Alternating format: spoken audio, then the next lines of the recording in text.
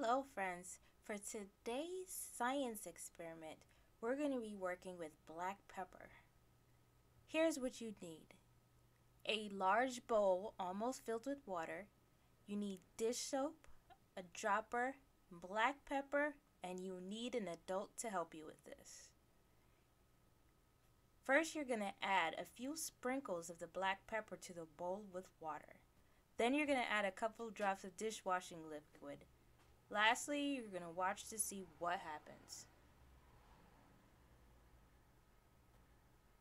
Pay close attention because I'm about to ask you some questions. Hello friends! Today we're going to be doing an experiment with black pepper, water, and soap. Gonna need a little dropper to help you with this. Um, I got this on Amazon. Maybe you can ask your parents to um, get one of these if they're allowing you to do this experiment. So I have black pepper right here in my bag and I'm going to pretend that the black pepper is germs. So let's pretend that the black pepper is germs.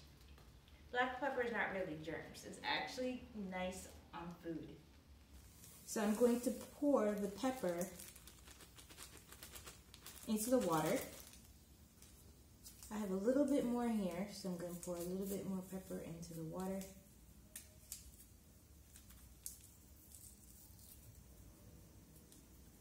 Go, pepper, go. Okay, so I have my pepper in the water. So let's look at this. We're thinking, yeah, that we're pretending that this or these peppers that we see floating on the water is germs. Now, what's going to happen when we take some soap and we drop it in the water? What do you think is going to happen? So I am going to use my dropper and I'm going to drop some soap in the water. So take your guess to see what's going to happen. What do you think is going to happen when I drop some soap into the water?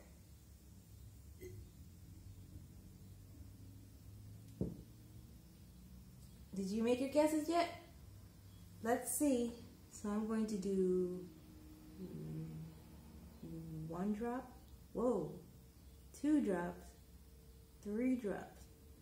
Did you see what happened when I dropped the soap into the water? All the black pepper went to the sides of the bowl. They tried to get away from the water. See, if you think of the black pepper as germs, when you add soap to your hands or you put soap on something, germs run away from the soap. So that's why it's best to put soap um, on your hands when you're washing them so that all the germs will run away. Just like how the black pepper ran away from the soap. Question number one. What happened when I dropped soap in the water with the black pepper? Do you remember? What happened when I dropped soap in the water with the black pepper? Is it A, nothing happened? B, the black pepper moved out of the way? Or C, the black pepper stayed there? Do you remember what happened? If you said B, the black pepper moved out of the way, you are correct. Give yourselves two points. Question number two. True or false? Germs love soap. What do you think? Do germs love soap? Is it A, true, or B, false? If you said B, false, you are correct. Give yourself two points.